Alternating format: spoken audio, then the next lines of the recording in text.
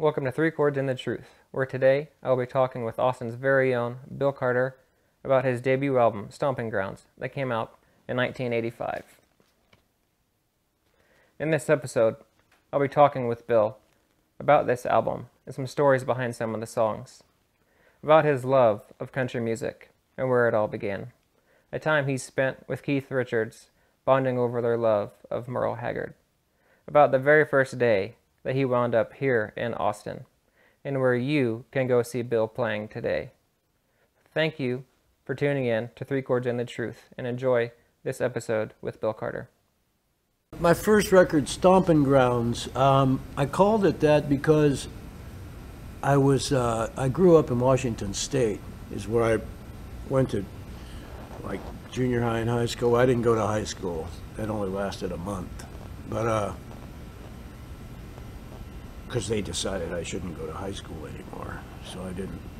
But um, but yeah, we we had we used to we had a we had a place there called Stomping Grounds where we'd go and you know drink, you know, have keg parties and stuff like that. But uh, so it was around it was west. It was on the Olympic Peninsula, west of Seattle, around a town called Bremerton, Washington.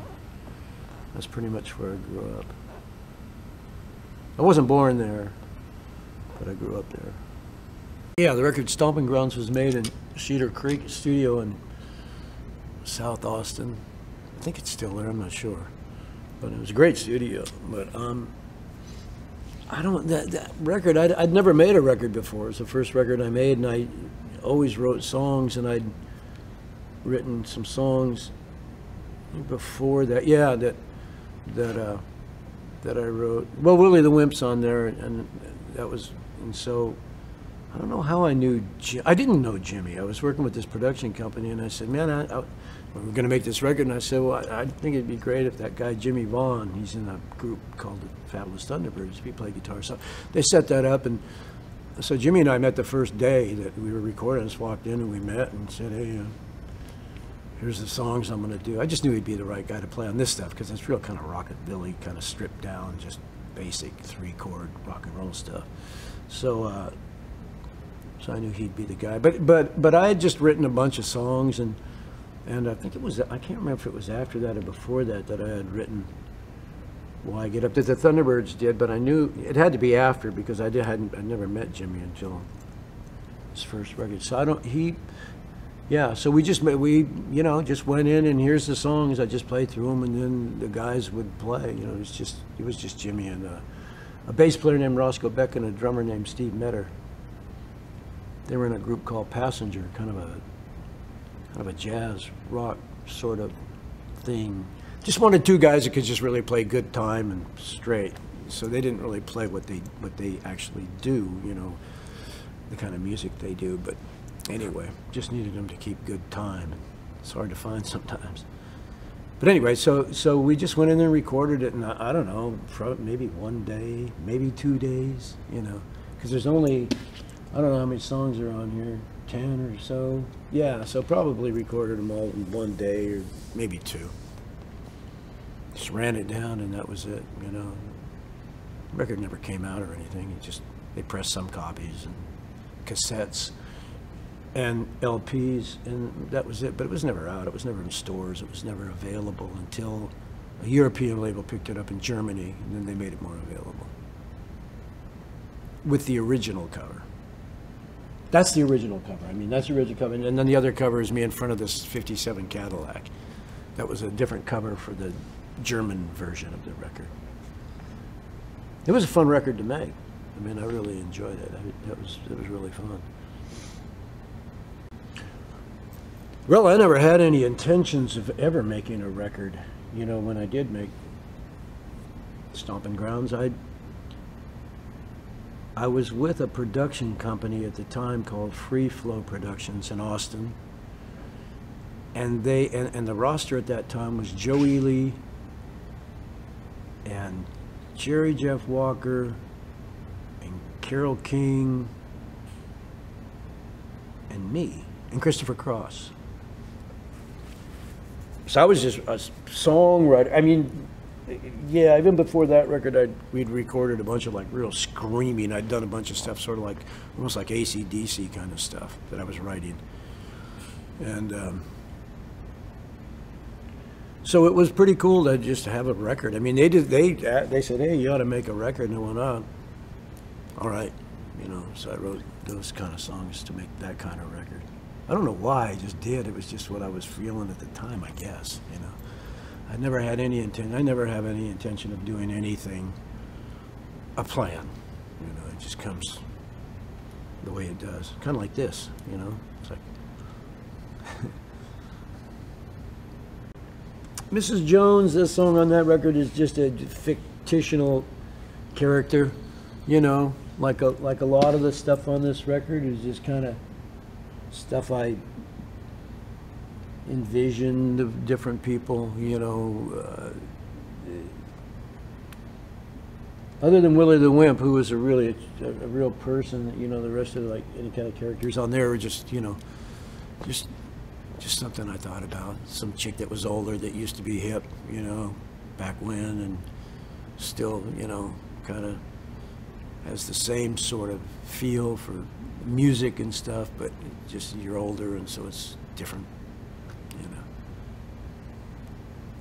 Yeah, the interesting thing about Willie the Wimp, which is a true story about a Chicago pimp drug dealer, south side of Chicago. That was an article I read. Bob, a guy named Bob Greene, writer for the Chicago, I think it's Tribune, Chicago something, I think Tribune. But I read that article. It was uh, it was in the Austin paper. It was just a uh, uh, whatever you call it, just supplement. Is that what they call them? But when it just comes from another paper. Anyway, but I'd read that the morning I was going to make this record, and I wrote the song on the way to the studio. I, Ruth and I wrote it, and I was saying, "Man, this is cool. Check this out." And we were reading it, and I said, "We ought to write a song." So we just started writing down. Just most of the song came from the article. A lot of the lyrics did. I mean, we had to make it all rhyme, and there was a lot of other stuff you had to do, but so wrote it on the way to the uh, studio, and and you know, of course, played it for Jimmy. Loved it immediately, but um, but yeah, that song was was strange because and then Stevie recorded the song and and it was out and pretty popular, you know, because everything Stevie did was it was on that live album, uh, Live Alive. Is that what that was called? Yeah, did it at the Opry House, I think it was. Well, I got a call one day from a guy in, uh, uh, I think it was Jackson, Mississippi, and he called and Bill Carter, and I, I said, well, I don't know who's this, and he says, oh, it's detective somebody, I forget the guy's name. He's a detective from Jackson, Mississippi, and I went, well, you know, it's a strange call to get. so he he went on to tell ask me if I was the guy that wrote this song called Willie the Wimp in his Cadillac coffin, and I said, uh, yeah, my wife and I wrote that song. And I said, why do you ask? I mean, I was, it was really making me a little nervous because he said he was a detective. He said, well, there was an incident here and that song came up. And I said, oh, really? I said, that's, that's odd. I said, what, what came up? He goes, well, I really, you know, I, I'm, he said he wasn't really at liberty to tell me. And I said, well, you know, I actually talked him into it. You know, I said, you know, I, I it's my song, you know, you, you, you call me, you tell me it's involved somehow. I said, I should know, shouldn't I? I mean, just in case whatever. And he goes, well, okay, I'll tell you. He said, I, uh, I talked to the guy a long time, but he, before we actually got to the story, he said that there was a homicide in Jackson, Mississippi, and, uh, and they found this guy in a Cadillac, dead. And he had the lyrics to my song, our song like on his chest with a knife stuck in his heart. And uh, so that was a, you know, I mean, you, you know, you never know where your songs are going to wind up. I mean, I've had lyrics on headstones, some of my lyrics, but, uh, but at any rate, I, I told Stevie the story, and, and it freaked him out. He never played it again. He never played the song again. He thought that maybe he, you know, somehow it wasn't a I, I don't know. It just kind of spooked him, I think. I, uh, however, thought that it was, uh, I thought it was. I, I, I, bet you no one else has ever had their song in a place like that. I thought, you know. So I dug it. I'm sorry somebody got murdered, but they had to. May as well have my lyrics involved in it. I don't know. But anyway, yeah, that's a that's a that's an interesting. I mean, to me, that's an interesting story. I mean, just because you know you don't hear about that. I don't know if I've ever heard anything like that with a song. You know, sometimes people leave notes and things and stuff, but all the lyrics, you know, to the song. My greatest accomplishment. I've always loved classic cars. You know, I've always, I've always, you know, growing up in the '60s, pretty much being a teenager. I mean, first of all, it was when all cars were really cool, and a lot of. It was a real main thing in high school and stuff to have a cool car, man, especially like a '57 or whatever. But uh, so I was always really into. That. I could never afford to have one, you know. I never because I didn't grow up with anything, you know, like that. But um, always really liked cars, old cars, and 50s and 60s cars. And um, so when I was writing this record, I was basically writing, you know, just just about an era, almost, you know, and about when I was that age, you know, and uh, and then I went on to have some cars of my own, you know, that were older, uh, you know, some custom cars and stuff like that. But uh, I just always liked that kind of thing. It was a real part of that growing up at that time. I mean, that was really a, a, a thing, you know, cool cars, man. It was a good, it was a good thing to, to, uh, um, you know, try and achieve, you know. And a lot of guys did, you know, worked at gas stations. You know, there weren't many jobs or anything. These guys worked at gas stations, and you did all the work yourself. You know, you didn't go take your car to have it customized or anything. But I've just always been a big fan, still am. You know. Yeah, that's true. In about 1977, six or seven, I hadn't been down here very long. I was, uh, I'd been playing. When I moved here, I was a bass player playing in country bands, straight hillbilly bands, because I grew up with that kind of stuff. Still love it as much as anything. And uh, at that time, I was out of, uh, I was out of work. You know, I couldn't. I had some gigs around here, but not enough. And I had some songs. I was starting to write songs, you know, that I thought were better than they were. And uh, so I thought, well, I'll just go to Nashville, man. Right, have some songs recorded by people, which didn't work out. So I hitchhiked out to Nashville with my bass guitar. And um, oddly enough, I, I, I had a, a, the name of a guy, a guy named, um, what was his name? I forget, it doesn't matter, but he was at the time managing um, Tracy Nelson, gal, Tracy Nelson, Mother Earth, I think was the name of the group. And this guy was also one time the boyfriend for a while of Janis Joplin.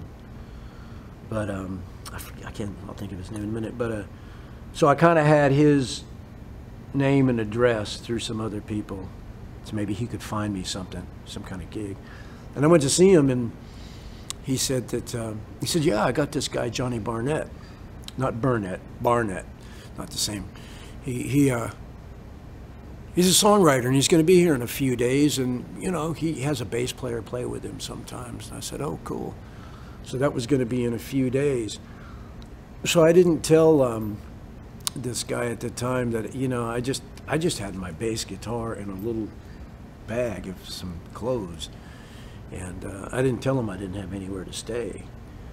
So every night I would just, he, he had a 56 Chevrolet four door, you know, and I remember, so every night I would just sneak and I'd sleep in the back seat of his car outside of his place without him even knowing.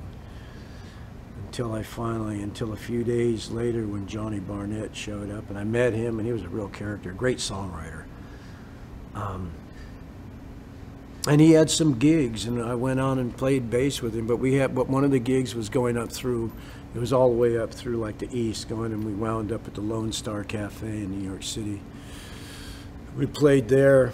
Oh no, at the time in Nashville, we also I'd also met this guy named Newman Jones, real character from Dyersburg, Tennessee. But he knew the Stones and he and he and he traveled with them. I don't know exactly what he did. I mean, he was a guitar maker. Moved here later on, and he made these Newman guitars, these weird shaped guitars that Keith even played a few times. A couple other people had them. But anyway, I met that guy, and he said, "Yeah, man. Well, when you're up in New York, man, we'll go hang out with Keith." And we thought, you know, I mean, we he was just a funny guy, and we thought cool. So anyway, we we played at the Lone Star Cafe in New York City, and and um, Newman met us there. He was up there. He happened to be. He didn't go up there with us. He was just wound up there. So when we were done, he said, "Hey man, um, let's go over to uh, we're gonna go over to uh, John Phillips' apartment, Mamas and Papas, John Phillips." I said, "Cool." He said, "Yeah, Keith's over there, man. We'll go over and hang out." I said, "All right." So we went over there, and me and this guy Johnny and Newman, and there's John Phillips and Keith Richards, and. Um, it was really funny because they had this big, for back then, however, whatever the biggest TV you could have, there was one in the room. It was an apartment. And it was just Keith and John Phillips. And uh, as we came in, we met and stuff. And, and, and as soon as we sat down, a big ad uh, for the Rolling Stones came on TV. Mick Jagger dancing all around and stuff. And Keith started laughing, looking at him laughing. But anyways, it was just kind of, I just meet this guy, and all of a sudden there's but um, so we met, and, and, he was he was very sweet. So was John Phillips, and, and very sweet. And we went over. They were, I think Keith was going to produce a record on John Phillips. Never rehearsing, so we all went over this rehearsal place and just hung around a little bit. We didn't want to hang. Split. He said, "But yeah, come out to the house." So we had a gig in Philadelphia the next day. Me and Barnett playing right at the bottom of the stairs where they filmed Rocky you know, he runs up those stairs. But Right at the bottom of that, it was me and Johnny Barnett opening for Hank Williams Jr. the weirdest gig. A million people because it was free and it was outside. But we did that gig, and then we met up with Newman. Again. He goes, "Well, let's go up to Keith's, man." He invited us out. I said, "All right." So we went up to South Salem. I don't know how far it was from the city, maybe an hour or two. Went up to his house, and he was there, just him and Anita Pallenberg, who he was with at the time. Beautiful Italian Swedish actress. She passed away recently, a couple of years ago. And uh, little Marlon, Keith's son. That's all that was there, and we we went. We and he was so gracious. I mean, he, he him and Newman were pretty good friends, you know. So we watched some Monty Python. I remember was on TV. It was great watching that kind of stuff with a guy like that that really got it, you know, about it and everything too. It was really, really. Keith's a really funny guy. I mean, he's like a really, really intelligent, brilliant guy, but very funny. But anyway. Um, so he, he said, "Hey," uh, so Newman was kind of pushing it, you know, that he was going. Why don't you guys, why don't, we, why don't you guys jam or something, you know? And, uh, you know, Bill, you know, he'll play bass. He's got his bass out in the car and stuff. And Keith said, all right, sure. So we went out in the garage and got this little Ampeg amp. Keith and I went out there and he goes, yeah, there's some amps and shit out here. And so we grabbed an amp, brought it in. I plugged into the bass and Keith had an electric guitar plugged into it. We, we, and he asked me if I knew any Merle Haggard songs. And I said, yeah, I know every one of them. He went, really? And I said, yeah. I know pretty much every Merle Haggard song. Like I said, I've been playing the hillbilly bands forever, and one of my favorite guys also. So we played Haggard songs all night. Me and Keith singing Haggard songs and stuff, and uh, and Newman, who was he died a couple years too, but he he uh, he he had a cassette of recording this stuff, which which he you know immediately lost you know, so I had these, it was probably at least an hour and a half. Keith and I playing Haggard songs and all that stuff, and uh, gone. But anyway, that's what happened. My first introduction to country music was my father was from Kentucky. You know, my father's name was Cash Carter, and his grandfather, William Henry Carter, they were all from Wise County, Virginia, the same place as the Carter family. My grandfather was A.P. Carter's first cousin. so my dad, he wasn't a musician, but he loved music, and he had a little, you know, this back in the '50s, little record player, and he'd take it everywhere we'd go. Like we lived in Puerto Rico for two years. I remember when I was five. Now these little shacks that you could that were open, but just to be out of the sun, and they had electricity, so we'd always bring a little record player and plug it in, and even at the house too. So the first music I heard the beginning of my life, and I always loved it was always like Bill Monroe. He had great taste. Of course, it was all great then. There weren't any bad. You know, back that was at a time where just if you made a record, you were really good, just period. And so it was Bill Monroe and Hank Williams, Lefty Frizzell, Hank Snow, Ernest Tubb, you know, all that kind of stuff. Just great songs, great artists, you know, and that's the first stuff I ever got went into my head. The moment I'd wake up in the morning, that'd be on the record player in a lot of cases. And uh, I thank him for that to this day, you know, because, uh, and I only write songs mainly in the morning, and I think that's why. I think that has a lot to do with the fact that my brain or something I was wired to that kind of thing in time. So, but yeah, all the great uh, artists, like I say, they were all great. I mean, and Johnny Cash, of course, and you know, there's so many, but all of them but those were the main ones. He was a real, my dad was a real bluegrass fan. So Mac Wiseman, you know, but mainly Bill Monroe, Flatt and Scruggs, all that stuff. But uh, that was my first introduction until uh, until me and my brother started listening to, of course, Little Richard and Elvis and all that stuff, which was not long after that. When I was about six or seven, I was really into Little Richard Elvis and all that kind of stuff. Uh, well, being, you know, inducted into anything, you know, that has to do with your art or your music or whatever you do is uh, is a real honor. I mean, you know, it's nice to be recognized and appreciated for your work. You know, um, I certainly don't ever look at anything like that as a as being any better than anybody or any worse. I look at that as just, you know, you got recognized at a time when I'm sure there were maybe a whole lot of other people that is, have done as well, you know, as you have in a lot of ways that maybe didn't, you know, at the same time. So, you know, I appreciate it, but I hope that everybody, you know, always gets included in those kind of things that deserve it, you know, that deserve the, just the recognition. I mean, that's what I call. I mean, nobody, I don't know who deserves anything, but just the recognition for for for you know doing something that really that a lot of people really enjoy.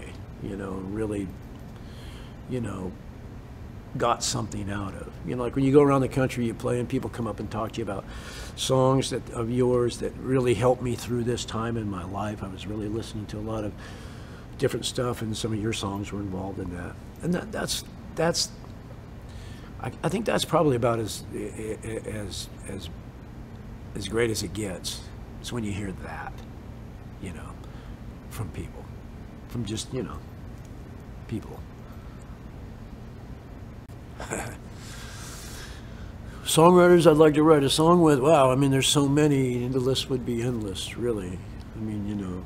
But as far as alive, right now, I mean, people like John Prine, I mean, just, in fact, I wrote a thing about him today on the internet because I was so surprised that he just got inducted to the Songwriters Hall of Fame. And I was like, he just got inducted. And I had to go look at people that were already in there. And I was like, really?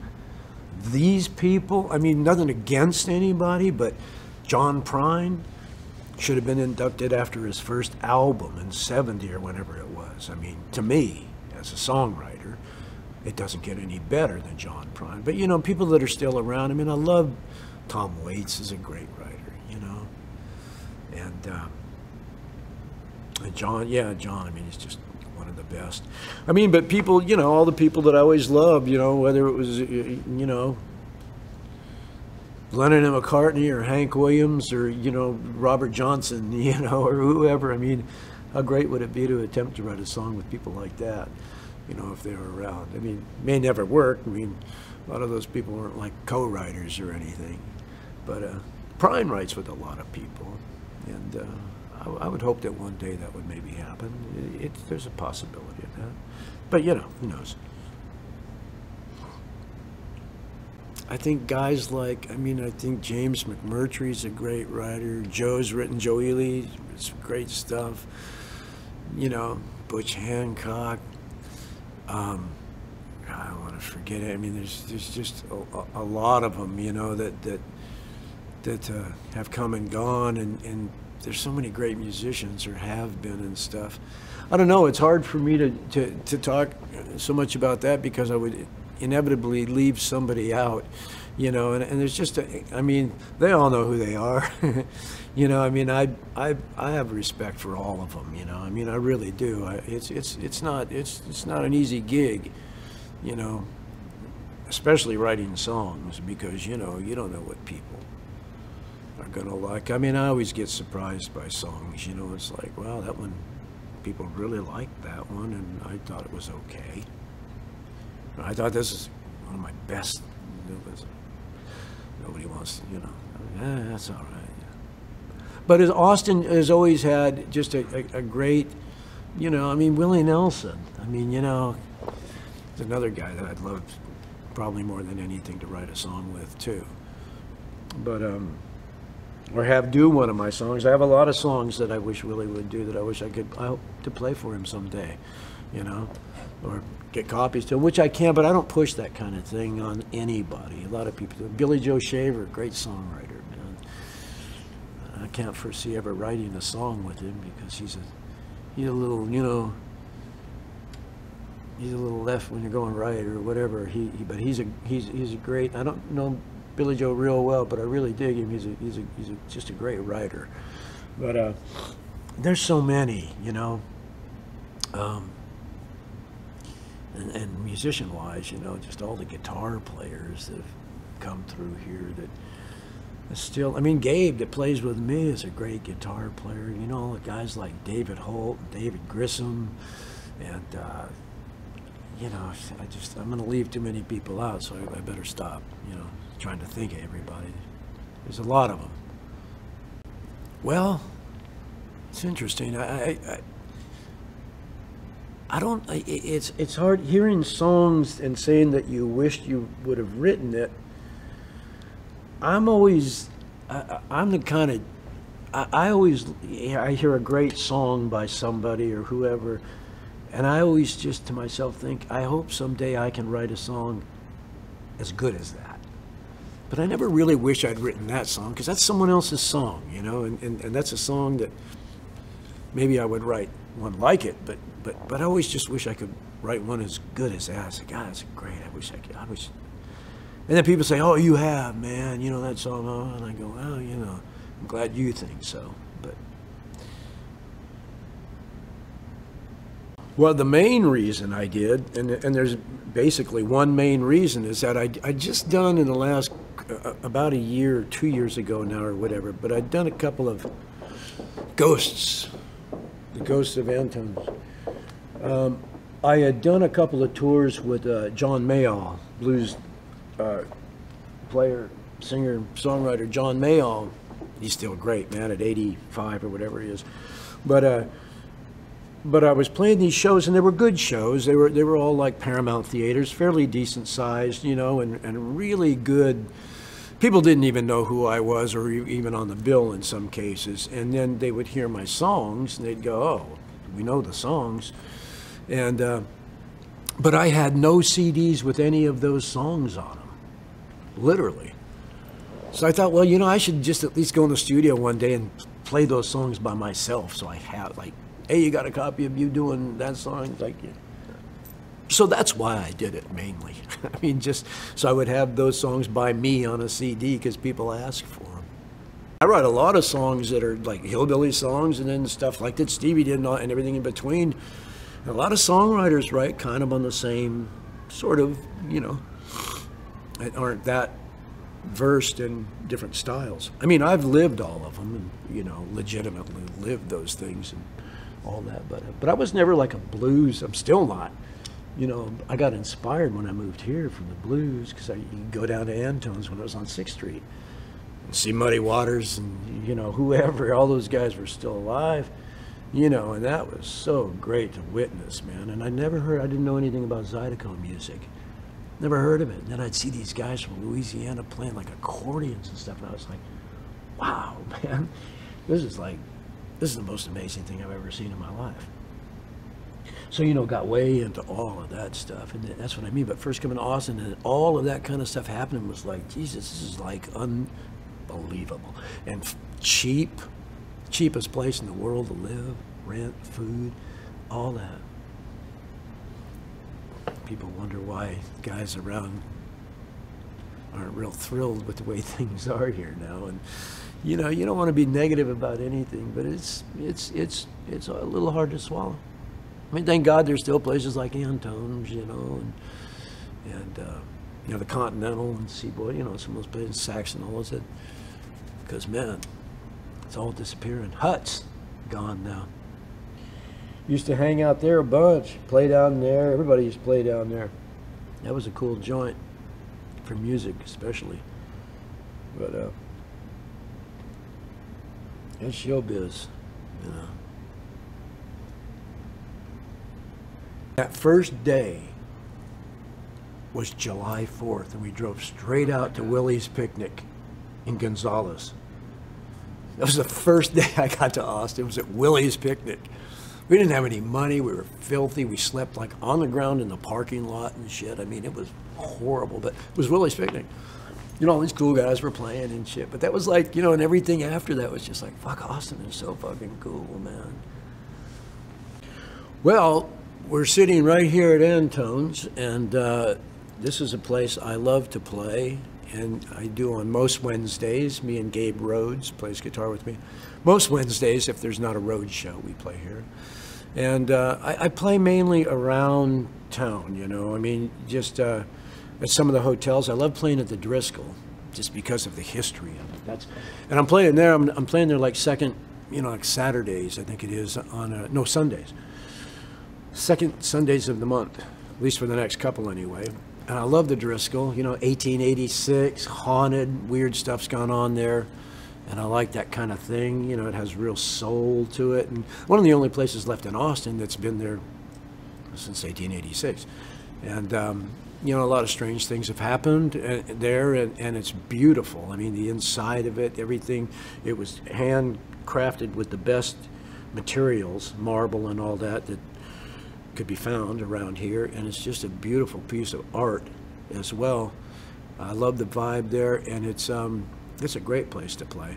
And I play out at some places out in the county, you know, barbecue places, and some just kind of roadhouse sort of, you know, Hays City Store and Slow Parks Bar, but just around Austin but this is kind of a main thing here at Antone's, you know, that I that I've been doing for the last couple of, well, I've been playing at Antone's for the last, you know, 30 years or so. But I mean, as far as what I'm doing now with this, the last couple of years I do this. So this is, this is a kind of a home base, and I, am I'm, I'm not going out and touring for a few reasons. I'm not leaving town at all, and haven't for a while. But uh, but I may do some more of that, you know. I like going up to the Northwest because I, you know, all my old friends are still up there, the ones that are still around, and. Uh, you know, it's easy just to go up there and play some gigs and actually do okay. But uh, as far as touring goes, I don't know. You know, it's things are just so different now. It's just not like it was. It's not better or worse. It's just different. Of all my songs, the one I don't know. There's probably, I mean, there's a few that I would say, but they're ones that no one's ever heard. But um, I don't know, songs are strange things because you like them at certain times better than, or more so than other ones and stuff. But uh, I don't know, just a couple of the songs. I mean, just, I don't know, just, I guess having a song like Crossfire done by just one of the greatest artists that ever lived, Stevie Ray Vaughan, Double Trouble, you know, I mean, that's, that's like having somebody like Hendrix or somebody do one of your songs, you know. So that that just is such a great thing in so many ways, you know. That uh, I would have to say that that one, and not because it was such a big hit and all that stuff, but just for a, a number of reasons. But it's just as, as far as songs lyrically written and stuff, there's a few that no one's ever heard that are that are my personal that I think are songs that were that I wrote. I did a really good job on. Maybe someday I'll record them. I don't know. I got a lot of songs. I write songs all the time, but I don't record all the time. But uh, yeah, I think Crossfire, you know, I think Crossfire is probably the song that, that means the most. Universally. Well, you know, I think I would like people to remember me as somebody who uh, worked hard at what I do and always tried to do a great job, you know, whether writing or, or performing. And uh, I never fucked anybody over, man. I never, I never cheated anybody. I never lied to anybody, uh, which has happened to me millions of times in this business, doing it for as long as I've been doing it. And I can just honestly say I've never went there. Never ever went there. You know, I, I intentionally ever did that to anybody. And a lot of people probably don't know that, but uh, it's the truth.